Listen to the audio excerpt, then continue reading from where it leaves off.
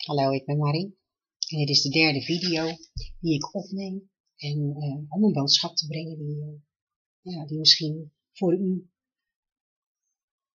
iets kan toevoegen op de weg die u gaat. Ik wil daar niets van afnemen, maar ik zou heel graag wat toe willen voegen. Van hetgeen wat ik in me draag. Daar hebben we het de vorige keer over gehad, ja. Dat is maar net uh, of u daar interesse in hebt. Ik heb het deze keer niet opgeschreven. Ik probeer het zo. Nou, dat zal wat worden.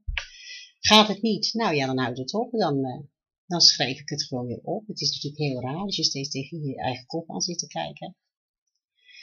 Maar ik ga het proberen. Het is niet zo dat ik uh, de boodschap zomaar breng. Ik, uh, ik wandel al heel lang in de wegen des Heeren.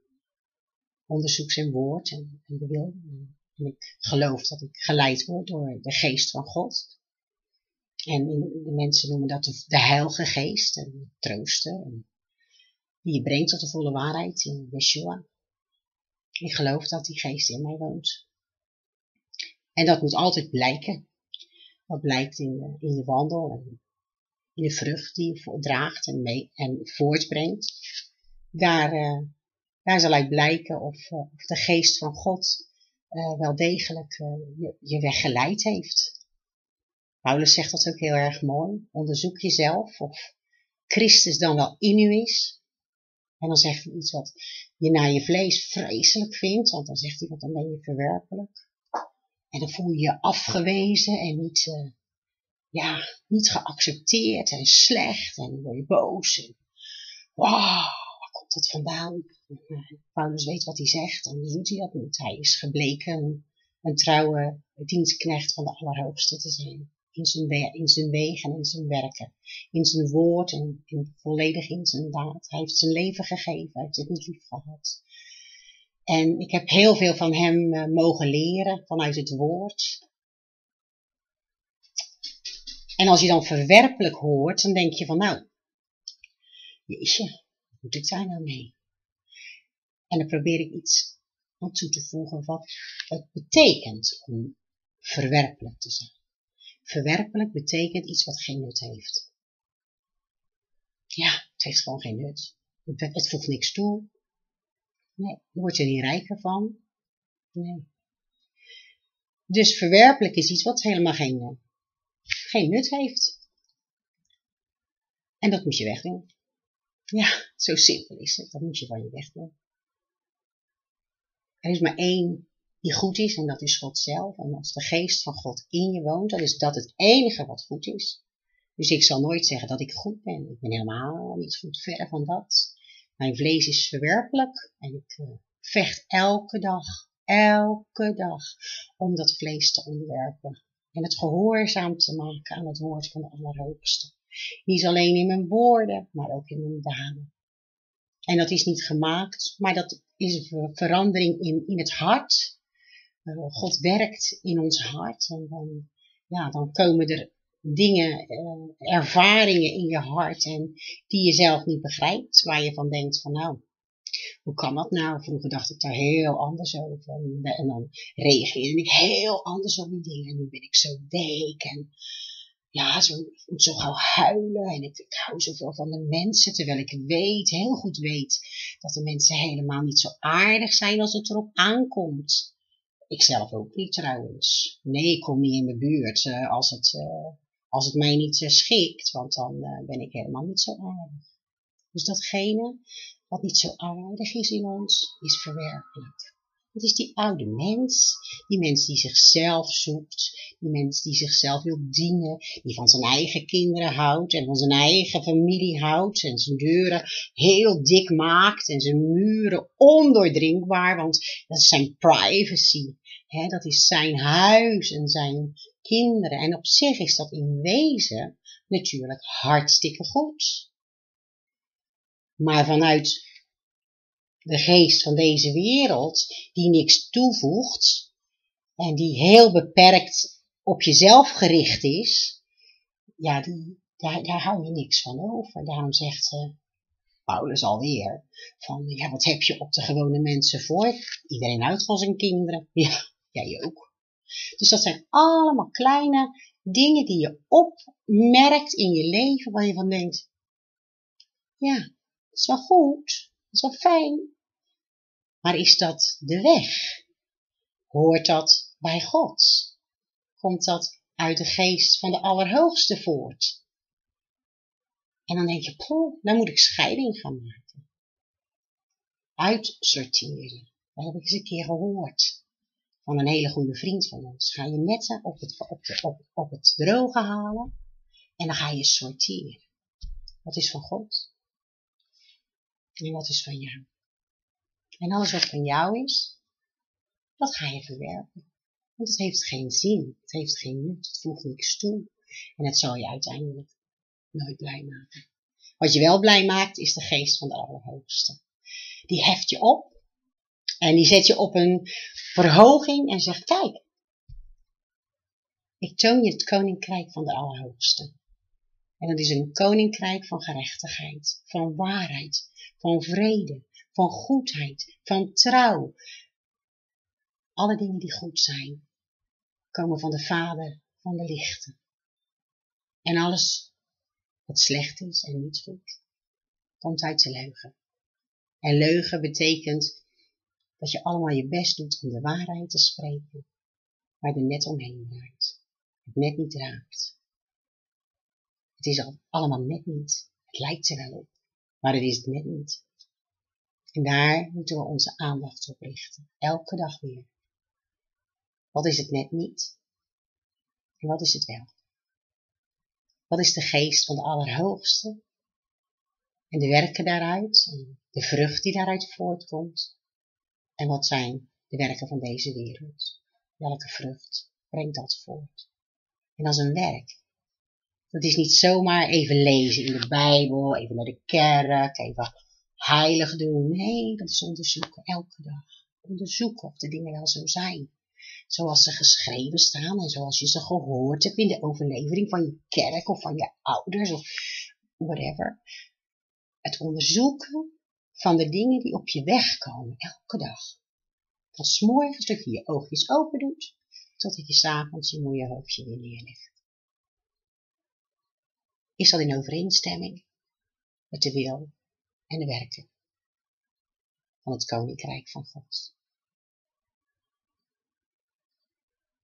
Ik ben heel lang, misschien al wel, oh, meer dan twintig jaar, langer, ik hou dat niet zo heel erg bij. Ik ben altijd eigenlijk al een kind van de Allerhoogste geweest. Ook in mijn, in mijn falen en in mijn vallen en in mijn zoeken. En in alle dingen ben ik altijd uh, op zoek geweest naar de waarheid. In de laatste 20, 25 jaar heb ik het voorrecht dat God mij uh, ja, wat mensen geeft. Mensen om, uh, om deze dingen mee te delen waar ik door uh, schade en schande wijzer ben geworden. Wat meer heb ge geleerd van de dingen die ik heb ondervonden. Dat ik geen leek ben in heel veel zaken. Hè? En dat de geest gods mij onderwijst dag en nacht. Ja, dat is nou eenmaal zo. Het is niet dat ik alleen maar een tekst lees, maar ik ik eet het, ik drink het, ik, ik, ik herkauw het en ik blijf net zo lang zoeken en, en, en onderzoeken totdat ik begrijp. waar ik om licht, Heer, kom met uw licht en uw waarheid. Mogen die mij geleiden en mij brengen tot uw heilige berg, tot Gods altaar waar ik mag komen in de naam van Yeshua dat ik niet naakt bevonden zal worden, maar dat Yeshua mij heeft gekleed met de klederen des heils. Allemaal mooie woorden die allemaal in de Bijbel staan. Ah, en dan denk ik, oh, ik wil het allemaal. En het is een taal die de moderne jonge mensen helemaal niet meer, en niet meer kennen. Ze heb je het nou over?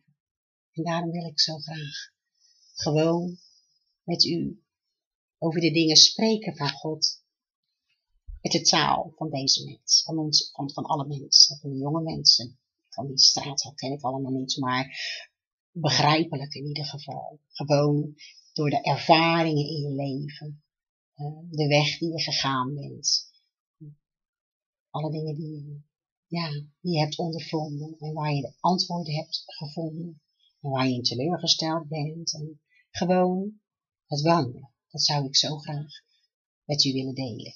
En dat heb ik ook gedaan al jaren met een, met een groep mensen die, ja, die door een hele bijzondere omstandigheid in, ons, in ons leven zijn gekomen. Wij, wij zijn, als ik over, over wij praat, dan, dan zijn we een heel intieme groep van, van zes mensen, drie echtparen, die, die alles met elkaar delen, proberen alles te delen. Het is moeilijk in deze tijd om, uh, om met elkaar te leven. We zijn helemaal gevormd door de, door de maatschappij die ons uh, ja, eigenlijk zo um, individueel heeft gemaakt. Hè? Allemaal aan onze eigen voordeur. Iedereen heeft zijn privacy en niemand vertelt wat er achter zijn deur gebeurt. En doet naar buiten toe of alles koekenij is en allemaal heel mooi is en dat we het allemaal goed hebben. Daar hebben we het ook hoor, maar in verhouding met elkaar, ja, is het toch, uh, dan, moet je, dan, is, dan is de afstand niet zo heel veel, dus dan moet je wel je best doen om daar toch een beetje bovenuit te staan. Maar als je samen uh, zou wonen en leven en in het koninkrijk, hè, vanuit het koninkrijk, dus ook onder de gehoorzaamheid van de Heilige Geest, dat is voor vlees niet te doen. Dat kan haast niet. Nee, dat kan eigenlijk helemaal niet, want dan krijg je wrijving en dan krijg je uh, ja, tegenwerking voor elkaar. En dat zou niet goed zijn. Ik geloof als de broeders gaan samenwonen, is dat uh, als ze vrij zijn van de geest van deze wereld, en van hun individuele denken, van hun egocentrische beeld eh, van, van het leven. Als je dat nog niet prijs hebt gegeven, dan wordt het heel moeilijk om uh, alles te geven. Om jezelf weg te cijferen. Om de minste te zijn. Dat wordt heel moeilijk.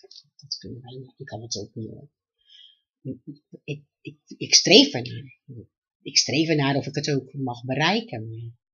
Ik betrap me er heel vaak op dat ik dat helemaal niet ben. Nee. En dan, dan is er iets en dan zeg ik, weer mislukt. Maar het mooie daarvan is dat God zegt, kom op. Je gaat gewoon door. Elke keer weer. Als het niet lukt, niet gaat zitten janken, gewoon zeggen, kom op. Vlees, zwijg en wees stil en gehoorzaam je en onderwerp je aan de, aan de wil van Yeshua, de Messias, de koning der koningen, de heer der heerscharen. Oh, dat kan ik met een overtuiging zeggen, dat doet niemand mij na. Nee, omdat ik zo veel van hem ben gaan houden. Zoveel. Dat heeft me gemaakt waar ik nu ben. Dus niet de alledaagse dingen en, en de ontmoetingen, allemaal, maar de liefde voor mij heeft me gemaakt wat ik ben. Blij. Ondanks alles. Ben ik blij met alles wat hij mij geeft. Alles. Ja, dan ben ik nog niet aan de groep toegekomen. Dat wil ik dan eigenlijk toch wel vertellen. Ik heb uh, ruim tien jaar uh, gesproken voor mensen. onderwijs gegeven, opvoeding gegeven.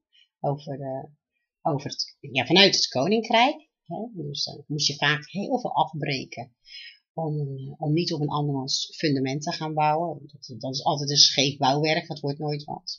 Je moet eerst gewoon terug naar wie je bent. En dan noem ik dat altijd, tot de erkentenis van de waarheid komen. Dat de mens verwerpelijk is. En God alleen goed. Dus er is altijd hoop. Elke dag weer. En jezelf prijsgeven, dat is het meest, ja, dat is eigenlijk, niemand kiest ervoor om, om vrijwillig dood te gaan. Nee, daar kies je niet voor. We willen allemaal de eerste zijn. Nou ja goed, soms de tweede. Maar we willen in ieder geval uh, onszelf profileren in onze omstandigheden en in onze in het bedrijf waar we werken, of, bij de kindertjes op school, hè, die moeders allemaal, dat is allemaal uh, wedijveren. Allemaal wedijveren met elkaar. Dat zie je in de kerk ook. We allemaal spreken, we allemaal zingen, we allemaal dansen, we allemaal, oh, het gaat niet zo goed. Iedereen weet dat. Iedereen praat daarover. Maar het gekke is, iedereen doet het. Elke keer weer. En ze weten het allemaal. En daarom heb ik nooit iets tegen mijn broeders. Nooit. Nee. Hoe gek ze ook doen. Die is allemaal leuk. Die is allemaal lief. Ja, ik hou van ze. Want ik weet dat een mens mens is. En, en, en Yeshua heeft ook gezegd, ja, ik ben gedachtig dat je vlees bent. Dus, dus ik, ik ken al je tekortkomingen. Ik ken je falen. Ik ken je val. Maar juist daarin wil ik je zoeken. Juist daarin wil ik je leven geven. Daarin wil ik juist licht geven. Licht.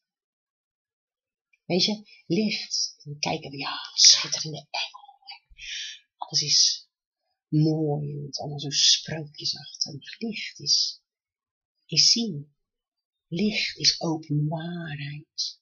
Dat is licht. Duisternis, daar zie je het niet. Dat kan je verdoezelen. In de schaduw. Maar in het licht staan.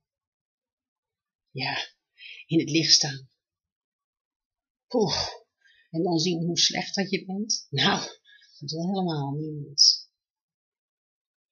En leer ik aan iedereen die dan daarbij wil zijn, met ons uh, gemeenschap wil hebben, wil hebben en met ons wil wandelen, leren wij aan elkaar om in het licht te gaan staan. In het licht van Yeshua. Want hij is gekomen als het licht van deze wereld. Dat weet iedereen. Maar wat is nou dat, dat licht? Het is altijd zo mooi gezegd. Hij is het licht van deze wereld. Ja, dat is hij ook. Maar wat houdt dat nou in? Ga ik dan glanzen en stralen als ik dat licht krijg? Of reflecteer ik dat licht? Maar ik geloof dat het licht iets zichtbaar maakt. Dat als het licht wordt, zie je die donkere bomen die je buiten ziet, die zie je ineens gaan leven. denk je, hé, zien die er mooi uit? Of een kat in het donker. Oh, die enge ogen. En dan wordt het licht. Prachtig. Is die helemaal niet zo eng. En dat is met ons ook zo. Als in het licht gaan staan, dan, ja, dan, dan is het anders als dat je in het duister wandelt. Ja. En, en, soms wil je niet dat de anderen weten wat, wat je in het duister gedaan hebt. Nee, wil je niet. Nee, om je zonde bekend te maken aan, de aan, aan je broeders. Nou, dat wil niemand. Ik helemaal niet. Naar mijn mens zijn. Maar God zegt, het is goed. Het is goed dat je openbaar maakt. Dat je in duisternis wandelt. Want als je het in het licht brengt, heeft de duisternis er geen macht meer over. Kan hij er lekker niets meer mee doen. Hij verlicht ons. En zo moeten we elkaar in het licht brengen. En niet elkaar oordelen of beoordelen. Ik wil daar iets over zeggen. Wat is oordeel? We lezen in de Bijbel dat het oordeel van God vreselijk is. Het is een vreselijk iets. Maar op dit moment, als je wandelt en je wil uh, God leren kennen en elkaar leren kennen, dan leert God ons niet te oordelen, want hij oordeelt ook niet. En waarom oordeelt hij niet? Omdat hij het oordeel in zichzelf heeft gedragen. En als je in hem bent en hem toebehoort en ja zegt tegen zijn wegen en zijn wil en zijn, zijn leven, dan ben je niet te beoordelen en uit het oordeel. Want het oordeel is vervuld in hem en dat weten we allemaal. Hij heeft de striemen gedragen. Hij is ons genezing geworden. En waarom moet je elkaar je zonde beleiden. Waarom moet je in het licht staan? Omdat we de macht die in ons vlees werkzaam is, van de machten van deze wereld, de koning van deze wereld, de zeggenschap willen ontnemen. Dan hoeven we ons niet meer te verstoppen.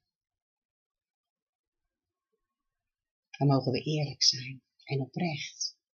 Het licht is oprecht en eerlijk. En dan is er geen oordeel.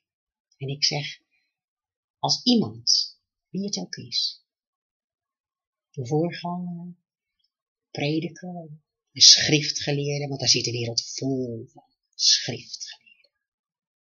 Het is een andere school. Maar ik geloof niet dat daar een school voor is. Ja, de school van de Heilige Geest, die is daarvoor. Ja, die is er om ons op te voeden en te brengen op die weg en ons te veranderen in het licht.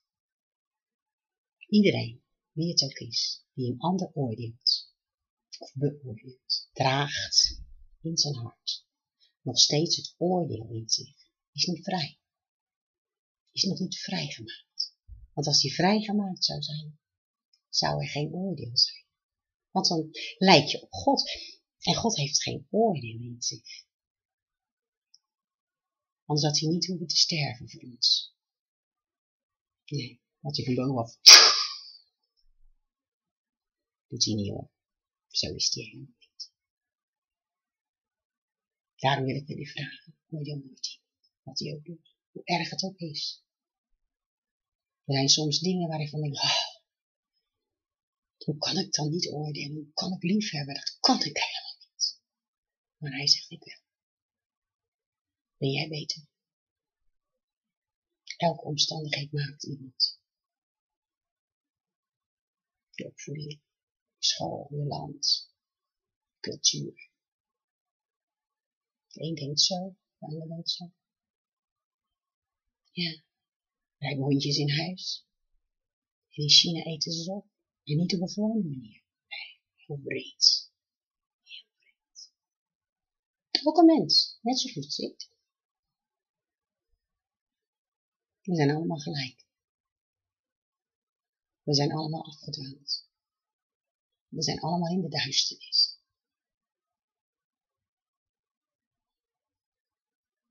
Er is niets goeds in ons.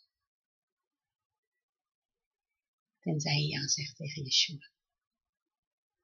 En de Heilige Geest zich aanmeldt en zegt, hier ben ik. Om je te helpen. Om je te vertroosten. In dat falende gevoel. Zodat je niet gedeprimeerd raakt. Maar dat je blij bent, omdat je het licht hebt mogen ontvangen. Ik weet dat dit een hele zware boodschap is. Maar God zegt, het woord is als een tweesnijdend zwaard. Het scheidt van één, vlees en geest. En het dringt zo diep door, dat het merg en been van elkaar scheidt. Zo scherp is het, zo precies. Hij hakt niet, hij brengt het in. Dan doet dat zwaard zijn werk. Ik heb het zwaard toegelaten. Ik heb geleerd de tuchtiging van God lief te hebben. Omdat ik weet, zijn tuchtiging is uit liefde. Hij zou mij nooit pijn doen schade. Er zijn heel veel mensen die houden van je oh, die zijn zo goed en zo lief. Ze schaden je soms op momenten waar je zo kwetsbaar bent. Dat komt bijna niet, nooit meer vanaf.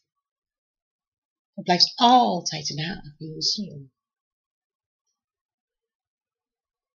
God doet dat niet. Dat kent hij ook niet. Want hij is dat ook niet. Hij is altijd goed. Rechtvaardig, dat wel. Het is niet van, ah, doe maar. Doe maar zo. Nee, zo is God niet. Hij is rechtvaardig. Hij kan met de zonde geen gemeenschap hebben, want hij is een heilig God. Hij zegt, wees heilig, want ik ben heilig. Hoe kan ik onheilig met hem verkeren? Dat kan helemaal niet. Dan zou ik hem verontreinigen. En dat laat hij niet gebeuren. En daarom moet je onder de gehoorzaamheid van Yeshua komen. Die je reinigt van al je ongerechtigheid en die heiligt in de heerlijkheden om voor zijn aangezicht te kunnen verschijnen. Het zijn zijn eigenschappen. Het is zijn waarheid. Het is zijn leven. Het is zijn licht. je kan het allemaal ontvangen. Echt, geloof me. Allemaal. Er staat maar één ding tegenover. Is dat je jezelf overgeeft en zegt, Heer, ik geloof dat u een goede God bent. Ik geloof dat u van mij houdt. Ik geloof dat u van mijn huis houdt, van mijn kinderen. En van mijn, van mijn familie. Dat weet ik. Heer, ik wil u volgen, waar u op me gaat. Verander me. Maak mij nieuw. Laat alle eigenschappen die u bent, Heer, in mij tot openbaring komen. Dat u zichtbaar zal zijn. Opdat de Zoon in mij gestalte zal krijgen. En dan weet ik dat als ik u, u volg, dat u voor mij zorgt en voor mijn huis. En God heeft dat bewezen in mijn leven. Hij is een goede God, een liefdevolle vader. Mits je aan de regels houdt. Dat is het enige wat hij vraagt. En regels, in de wereld zijn ze moeilijk te, ja, dan zijn het wetten. In het Oude Testament, die wetten, die wijzen allemaal op Yeshua. Want in hem zijn veel meer regels. Veel meer eh, de wet eh, van Mozes. Maar ze zijn gewoon ja, helemaal niet moeilijk. Als je het bent, is het niet moeilijk. Als hij je verandert. Als je het wil doen uit je oude mens, kan het niet. Kan je nog geen dag, geen dag, kan je nog geen uur volhouden. Dan val je gelijk. Je kan nooit uh, de regels van, uh, van God houden als je niet uh, onder de bescherming en onder de leiding van de geest wandelt. Dat kan niet, dat is onmogelijk. En ook je broeders heb je nodig. Die heb je gewoon nodig, elke dag. In deze tijd is het natuurlijk, kan je bellen en je kan appen met WhatsApp. En er zijn heel veel mogelijkheden. Je hoeft niet uh, elke dag. We wonen vaak ook verder van elkaar. Hè. Vroeger wonen je gewoon bij elkaar. In een buurtje. Gezellig bij elkaar. Maar dat is niet meer. De een woont in Delft en de ander in Friesland. Nou, laat het maar aanstaan. Elke dag elkaar opzoeken, dat gaat gewoon niet.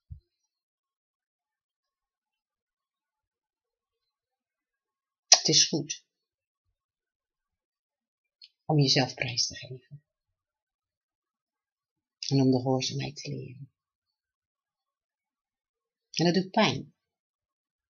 Geloof me maar, dat doet pijn. Want ieder zoekt zichzelf en vindt zichzelf helemaal niet zo slecht. Toch rechtop. Toch gelijk in. Het is toch zeker zo. Hè? Hebben ze me toch aangedaan? Zo.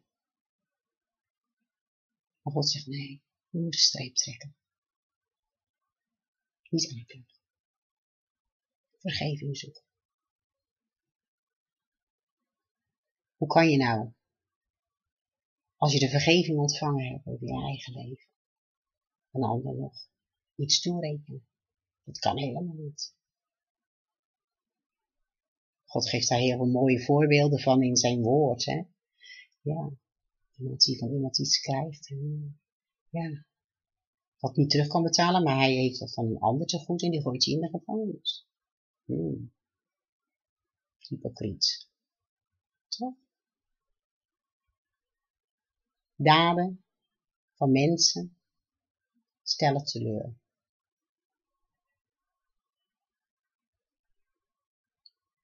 Maar als jij kan vergeven, als jij leert lief te hebben, onder de heerschappij van het koninkrijk van de Allerhoogste, dan maak jij het verschil. Dan maak jij de wereld goed. Dan red jij de wereld. En hen die daarop zijn. Als dat koninkrijk gaat baanbreken. dan zal de heerlijkheid des Heeren de aardbodem bedekken, zoals de wateren dus deze aarde bedekken. Ongekende dieptes van heerlijkheid en licht zijn toegankelijk voor ons gemaakt in Hem, in dit koninkrijk. Kijk nu naar de dieptes van de zeeën, die zijn duister en diep en donker. Maar de zee van God is licht, helemaal van goud. Schitterend. Nou, misschien heeft u er wat van op kunnen steken. Ik, ik hoop dat we het nog een keer uh, mogen doen. Met een ander klein onderwerp. Ik wil niet te lang praten, want dan wordt het een beetje, je iemands aandacht vasthouden. Dat is eens moeilijk. Dus ik uh, wens u vandaag een hele fijne dag. En als u s'avonds kijkt, wel te rusten. Dag.